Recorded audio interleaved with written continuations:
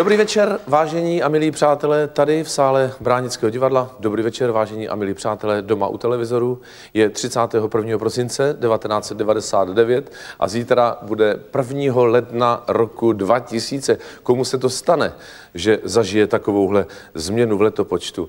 A já bych chtěla, aby ta změna v tom letopočtu proběhla v legraci. Já doufám, že se budeme skvěle bavit celý večer. Já dost často dostávám otázku, Jaký byl můj trapas? Jaký trapas bych nechtěl zažít? Jaký trapas se mi v životě stal? Jaký považuji za největší? Já nevím, těch trapasů byla spousta. A já si myslím, že trapasy jsou kořením života, že člověka posouvají dál.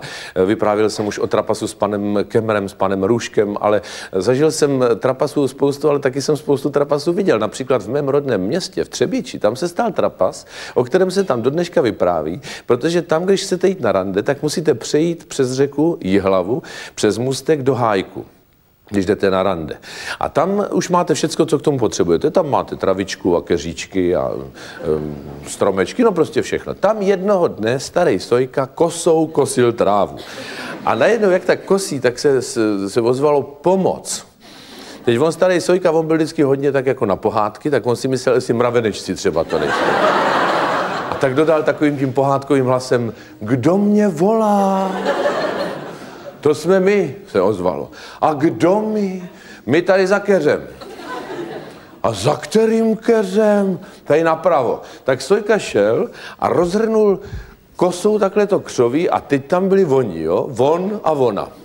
To byl právě ten trapas. Oni se měli tak rádi, že oni v tu chvilku byli, jak bych to řekl, nerozdělitelní, jo? A on teda s tou kosou tam takhle stál, no. Teď taky o to chvilku napadlo, že jo, ale pak to zavrhl, říkal si, jak by jim prospěl a on je oba dva takhle naložil na tu kárku, přikryl je plachtičkou, co tam měl a vezl je do špitálu. On musel zase zpátky přes můstek okolo pošty, tam trošku byl zádrhel, pač tam bydlí baba, která vždycky hlásí na náměstí, kdo zrovna šel do hájku. A ona je kolikrát rychlejší než telefon, takže tam už e, seděli ty dětci s fajfkama na náměstí a říkali, kde byl Sojka? No na trávě, kde bych byl. A co vezeš, Sojka? A co bych vezl, trávu vezu, ne? A co ty nohy, Sojka? No Sojka si užil. A teď, ho, teď to provezl tu kárku tím náměstím a přijel do špitálu, do Kopečka, kam to musel tlačit a tam pan primář píchnul špendlíkem a oni se rozešli a odstěhovali se z Třebíče. Protože oni už tam Oni už tam samozřejmě dál nemohli s tím trapasem existovat, jo. Ale Sojka ten z toho profitoval samozřejmě, protože ten chodil po hospodách a říkal, člověk, já jsem rozhrnul křoví, vi? teď ti tam byl on a ona a dál ti to neřeknu, než zaplatíš pivo.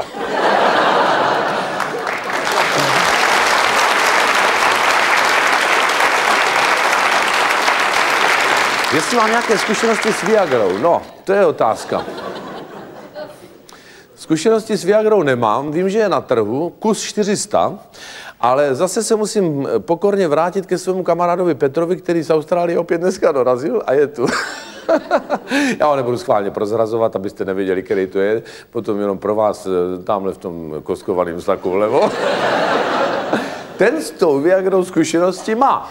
Protože on kdysi dávno, když to tam u nich přišlo e, do mody, tak on mě telefonoval, že měl sraz s dívkou na bíči, jakože se měli potkat, že s děvčetem na pláži, abych to přeložil, a že si vzal dvoustovku, jo. On to zřejmě nějak je rozkategorizovaný, což jsem nevěděl. A já říkám, no a co? Jako, a on říká, no a ona nepřišla, no. A říkám, co jsi dělal, Petře? Já jsem to rozplaval.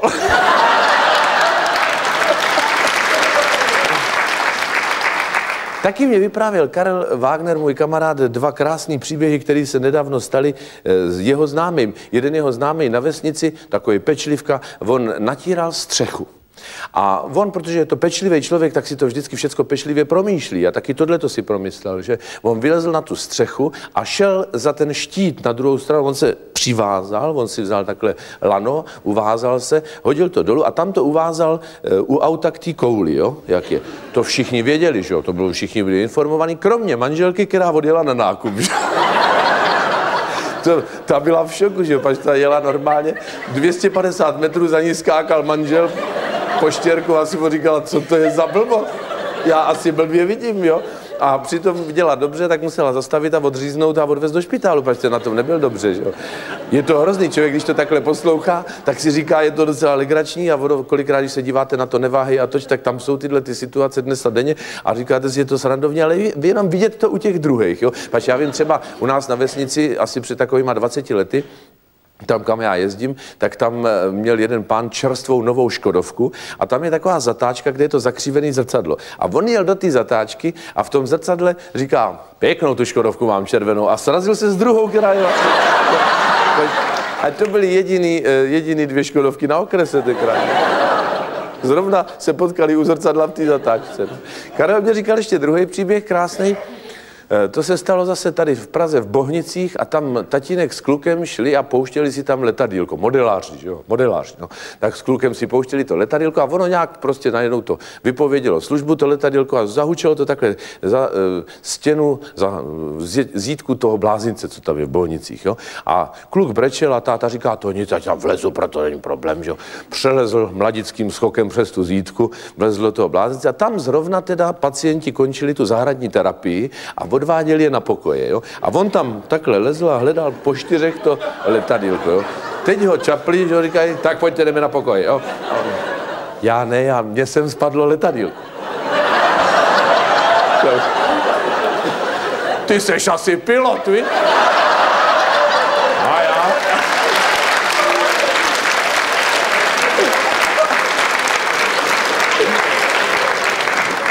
A on se bránil, že ho zoufali, no co v takové situaci máte dělat? Říká, mě venku čeká můj kluk. Ty máš kluka? No, on tam bude brečet, no to víš, že jo, pojď, my ti zatím dáme uklidňovák, jo.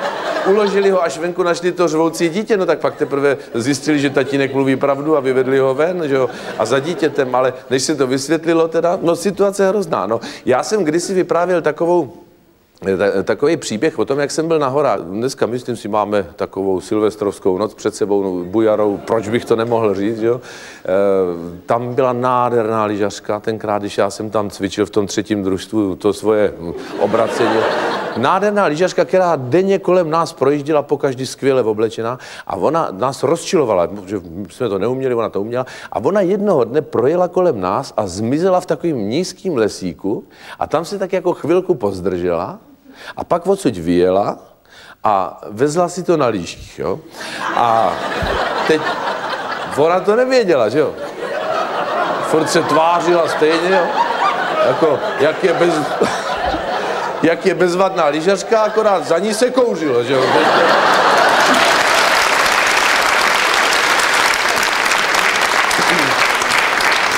Já e, mám takovou jednu příhodu, na kterou nikdy nezapomenu. To jsem se šel představit svým budoucímu tchánovi a svý budoucí tchýni na svou budoucí chatu a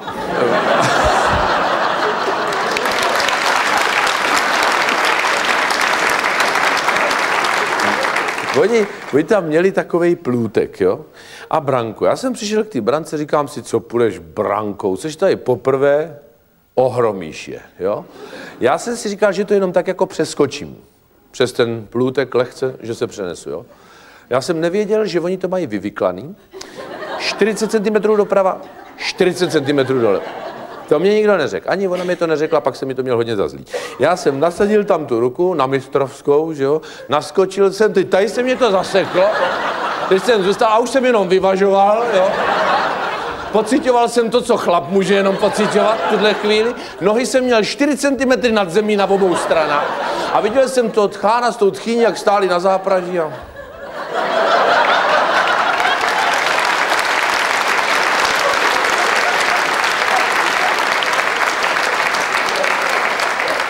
Teď tím těma hlavama putovalo, to bylo vidět, jako myslíš, že to ta naše holka má zapotřebí? To... Bude z toho ještě něco? Pak teda konečně Tchánovi docvaklo, co asi tak pocituju, že komu jinému to než jemu mělo docvaknout. Podal mě ruku, skamarádili jsme se.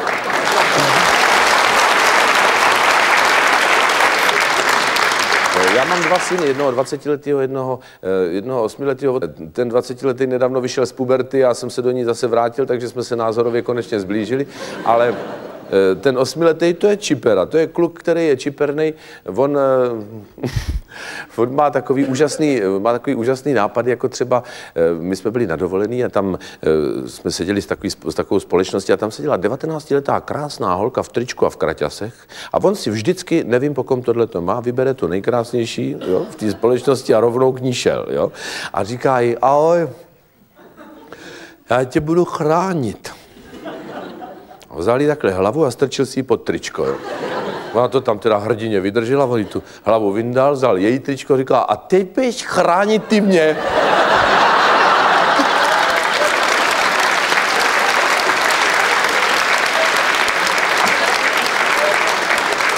A všichni ti chlapi kolem, co jsme seděli, tak jsme udělali jenom... Pač on jediný to viděl, že jo to si budeme nalávat. Ale on má takovýhle nápadů, on třeba, e, moje žena s ním přišla do lékárny a tam byla fronta, protože zrovna byla nějaká e, ta epidemie a teď všichni stáli na ty léky, jo. A on tak jako přehlídnul tu frontu, tomu byly asi čtyři roky, a říká, já blbec, že jsem si s sebou nevzal ty hračky. A teď tam vpředu taková paní říká, pojďte si s tím malým tady dopředu, jo. A vyšli dopředu, že a od té doby to mají nacvičený jako etidu a on vždycky někam přijde, něco takhle žvástne a oni je pustí, jo. Což je úžasný, jo. Eh, vůbec s ním jet na dovolenou, to je zážitek, jako, ale eh, ono vůbec na tu dovolenou. Podívejte se, já třeba dneska už těžko hledám místa, já vám to řeknu takhle, já jsem celou sezonu ve styku s vámi, s diváky a to je dobře, já jsem za to vděčný a jsem šťastný, že to tak je. Ale na konci sezony samozřejmě logicky hledám místo, kde vy nejste. A to se přiznám, to se hledá těžko, protože vy jste prostě už všude. Eh, já jsem třeba předloni si říkal, všichni táhnou na jich, potáhneš na sever. Tak jsme, letěli jsme do Norska, vystoupili jsme v Oslo z letadla, Jo? A teď, jak jsme vystoupili z toho letadla, tak proti nám jde taková skupinka a proti taková paní a říká, dobrý den, pane Donitil, tady se vám bude moc líbit. Jsem říkal, ta nemluví norsky. Tak jsme naseli do dalšího letadla, letěli jsme ještě severněji do Bergenu. A tam jsme šli po náměstí a fish market a moře šumělo, sluníčko, krásný počasí, všecko. A najednou projel autobus a ozvalo se Fridek Mistek, zdraví pana Donutila!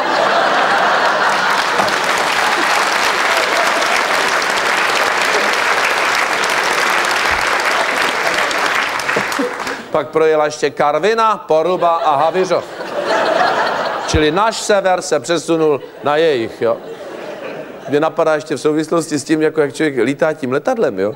E, já jsem jednou letěl do Bratislavy letadlem, o kterým e, jsem už měl představu, že ani nelítá, jo. A přesto jsem jim letěl. A to je letadlo, tam už ve jméně toho letadla v podstatě máte otázku, protože to se jmenuje jak. Jo. To, je, jmenuje jak 40, jo. To, to člověk neví ani kam doletí a jak. A všimněte si, jestli tím někdy poletíte, oni ty piloti, oni mají radost, když přistanou, ale přesto pro jistotu radši... Co kdyby, že jo? No? Radši jdou od stroje, jo? A pak se ještě stalo, a to bylo taky nádherné, já jsem letěl do Ostravy, takovým letadílečkem malinkatým, že já jsem ani nevěděl, že takový letadílko vůbec u nás na těch našich linkách lítá. Teď jsem tam přišel, tam takový schudečičky byly, jo, letuštička tam stála a trhala tu palubní jízdenčičku, jo, a žvíkala žvíkačičku, jo. A já jsem k ní přišel, dávám mi ten lístek a ona říká, tož dneska jste si ale teda vybral den? Kam, proč? Tož to letadlo a to počasí? Kam něco je s letadlem? Tož mi to nesmíme tím pasažírům tak říkat? Však uvidíte. Jestli teda uvidíte. Já jsem měl takový strach. Teď jsem po těch schudečičkách stoupal nahoru, jo. Teď se rozlídnu vpravo, vlevo, tam byly čtyři židle, vlevo čtyři židle vpravo. Židle, ne sedadla. Židle, já to nikdy neviděl. To byly židle přišroubované k zemi, jo. Na opěradle taková kapsa a v tom byla strčená otevřená Coca-Cola, aby jsme asi měli radost nebo co, jo. E, teď se to nedalo sklopit, jo. Přede mě si sedl takový ostravský medvěd, který nebral v potaz to, že se to nedá sklopit a sklopil.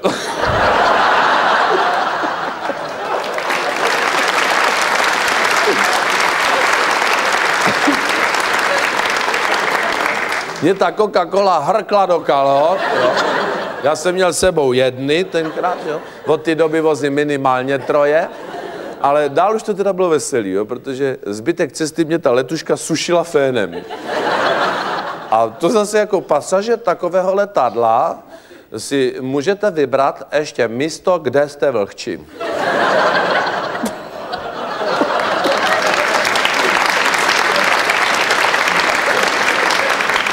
Taky eh, se mě jednou eh, zeptali, eh, jestli se dívám na ten kotel. Já teda musím vám říct, já to moc nesleduju. Ona to uvádí ta, jak se jmenuje, jak? Jo, všichni se na to dívají. Hele, já to, ne, musím vzkázat řediteli konkurenční televize, že může být naprosto klidný, protože jak jsou vždycky takový ty relace, víte o tom, jako jak vždycky reporter přijde, jakou televizi sledujete, prosím, a oni všichni říkají, ČT2, ty dokumenty. ČT2 má sledovanost 0,31 a kotel 54 800, jo? Ale to je jedno. Já jsem to viděl jednou, eh, samozřejmě Michailu Jilkovou si pamatuju už eh, z, z té arény, ona byla vždycky taková nepříjemná, nikoho nepustila ke slavu a eh, každý mu hned takhle dokázala trefně odpovědět a pak, jí, pak ona odešla na mateřskou a vrátila se a oni šoupli do kotle za trest. Ale já, já když jsem to viděl, jo, ono teda mě to, abych řekl pravdu, příjemně překvapilo, jo, pač ona přitom byla až driáčnická, bych řekl. To bylo takový, kdo má pravdu 3, 2, 1, teď Já jsem úplně zůstal...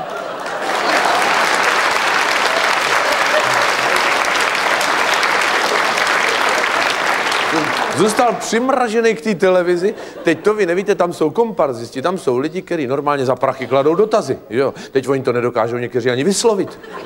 Někteří to ani nepřečtou. A tam zrovna seděla taková, a zbytek si přivezou ty politici, čili reprezentativní vzorek takový, jako jo, to publika.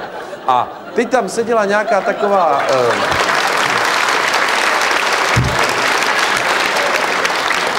Teď tam seděla taková baba, ona s náma už leta točí ten kompars televizi a ona zrovna kladla tomu ministrovi, co tam byl dotaz. Jo? A říká, prosím vás, pane ministře, já jsem se vás chtěla zeptat, jestli teda je pravda to, co jste říkal, eh, ona to teda říkala i sousedka, eh, paní Schindlerová, jo, eh, jestli teda si myslíte, jako, nebo si myslíte, že ne? A ten minister, co tam byl, ten na to odpověděl.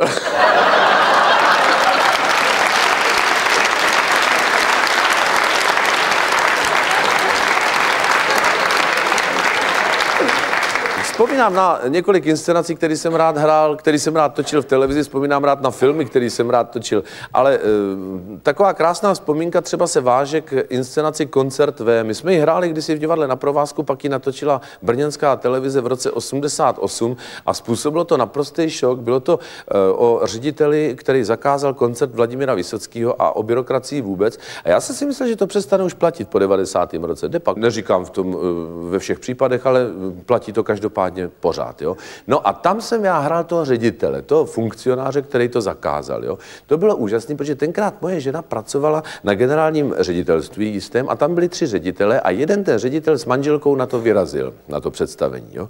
Teď já ho tam vidím, jak dneska. On tam seděl v té kravatě s tou manželkou a teď zíral na to a ta manželka to se bavila, prostě to bylo, ta byla úplně z toho hotová, pro ně šťouchala a ukazovala, vidíš to, vidíš to, vidíš to. No, přesně. Ten druhý den přišel do práce a říká mi ženě, teda to jsem si včera dal. Pojďte ke mně. Ona tam přišla, ta moje žena, ty tam stála, že jo. Říká, vy jste všechno manželovi řekla, co? Jako co?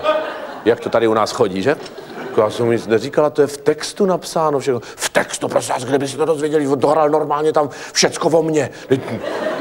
To není možné, aby tyhle ty věci věděl. On říká, no ne, no to všechno je v tom textu napsáno, ale v tomu nevěřím. A tam stál druhý ředitel, kádrově personální. A o tom to skutečně bylo. Tenhle ten ještě nebyl tak špatný, ale tenhle kádrově personální, to byl přesně Nemlich ten samý. Jo? A ten říkal, jdu na to taky. Ugh. Moje žena tam málem omdlela a říká, to jim zakážou. A on tam druhý den teda přišel a pak se vrátil z toho představení a zavolal si mou ženu a ta už čekala teda ten ortel, že jo? A to je pro mě větší ocenění jako Oscar, protože on řekl, představte si, včera jsem to představení viděl, viděl, tak jsem to pozoroval. Představte si, že takový lidé, jakého tam hrál váš manžel, mezi námi stále ještě existují.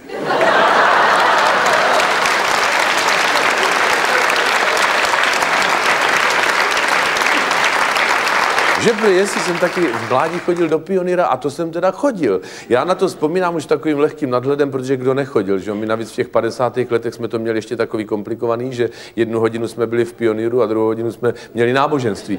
A teď jsme, že jo, no pamatujete si to, my jsme přebíhali, jsme kolikrát s tím šátkem přeběhli do toho náboženství a tam nás katecheta zliskal, jo? Pak jsme se zase eh, vrátili zpátky do toho pionýra a řekli jsme pozdrav pámu! Jo? No,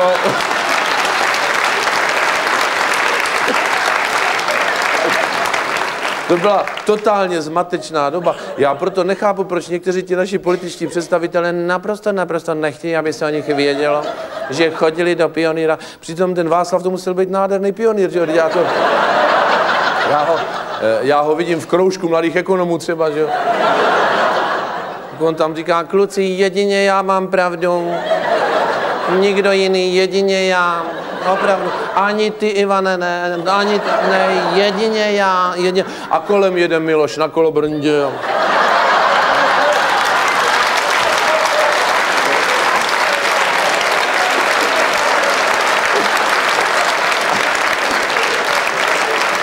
A už jenom, už jenom je slyšet z dálky, on nepučím. Nepučím, jo. Tam někde se rodila ta opoziční smlouva, že jo, bych řekl. Ale... takový kasal třeba, že jo, ten už vedle, ten nepřebíhal, ten vedle, ten věděl, kam to v tom parlamentu v budoucnu chce dotáhnout. Ten grebeníček, že jo, ten taky, ten s tím druhým, s tím, jako se jmenuje, ten... Eh, ra, rancour, nebo jo, takový ra, rancour. Jeho to paradoxně ještě táhne doprava.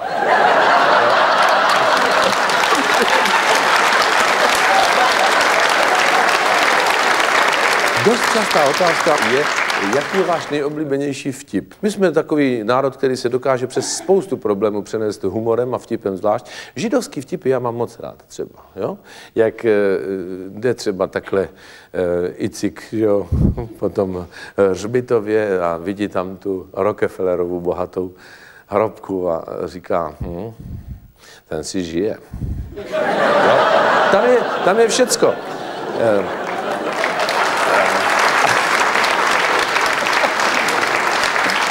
Tam je všecko. A pak je krásný třeba takový ten, jak eh, potká kon Roubička a říká, Roubiček, tak jsem slyšel, eh, že byli v Moskvě. Jo, jo, jo, jo, jo, byl jsem, byl jsem. E, poslouchaj, Roubiček, e, jestli pak si koupili ten myší volej. Myší volej? A kde pak oni to tam mají? No to oni tam mají na tom jejich rudým placu. Mausoleum.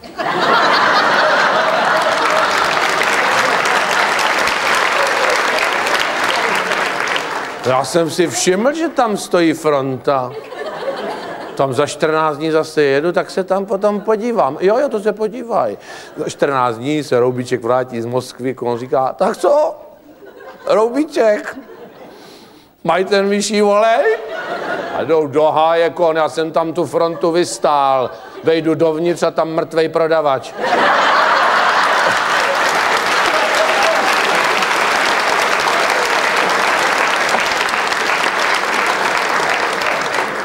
Když už teda jsme v tom Rusku, mimochodem tam mají taky úžasný vtipy. Eh, proč ne, že jo? možná ho třeba budete znát. Tam eh, přišel turista do restaurace, objednal si polívku, číšník mu přinesl polívku, přiběhla gorila a takhle se mu v ní omočila jo? a odběhla. A teď ten host tam tak jako zoufale volá toho číšníka a říká, извините, товарищ, знаете, для чего горилла смочила яйца в супе?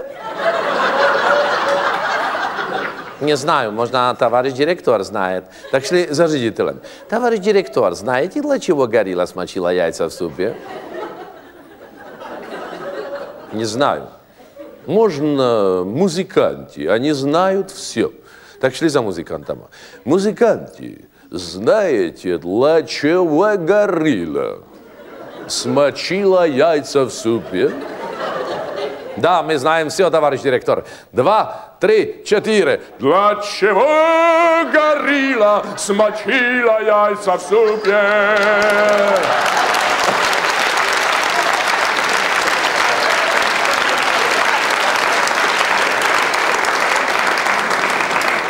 No, podívejte se, co si budeme nalhávat, policajských je hodně, že jo?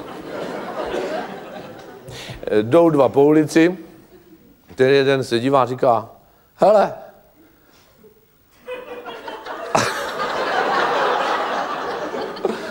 hele, 50 koruna.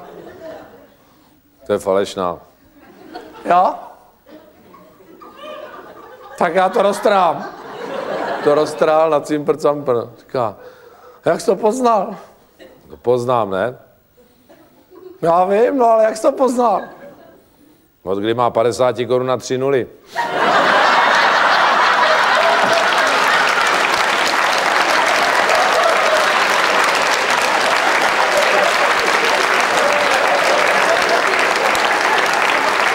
Když jsme, když jsme u toho Silvestra, ještě mi napad jeden takový, jak sedí ti dva policajti v kanceláři a mudrujou, jo.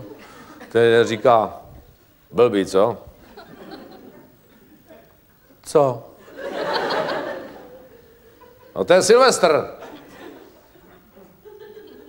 Co jako? Že to vychází letos na ten pátek.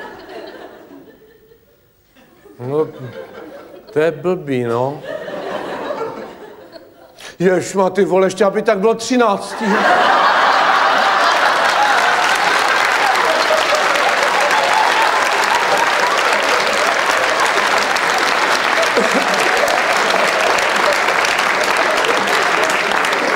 Teď vždycky, když to takhle končí, tak si říkám, kde člověk v sobě bere tu energii, protože když si představím, co mě čeká zítra a další den, ať je to nový rok nebo, eh, nebo není nový rok, prostě vždycky máte další a nový a nový povinnosti. Ale já si myslím, že vždycky, když člověk přijde do takhle zaplněného sálu, navíc ještě umocněno je to tím, že je tady přítomna kamera, tak ta energie, která je tady nutně přítomna díky vám a možná taky i přes tu televizní obrazovku a tu kameru zprostředkovaná tím kabelem. Nevím, já mám pocit, že ta energie prostě nutně musí z vás aspoň z části přestoupit na mě a pak, když jste přišli proto a vy k obrazovkám taky, abyste mě doplnili svou energii, dobili mě, tak vám za to děkuju. A jestliže i ze mě část energie přešla na vás, tak vám za to děkuju taky, protože jsme tady nestrávili zbytečný večer. Já bych vám přál, aby těch večerů, ale co večerů, celých dní eh, zbytečně strávených v tom příštím nádherném roce 2000 bylo co nejméně, abyste byli všichni zdraví, abyste byli všichni úspěšní, aby se vám všechno dařilo abyste se měli rádi a byli jste spokojení.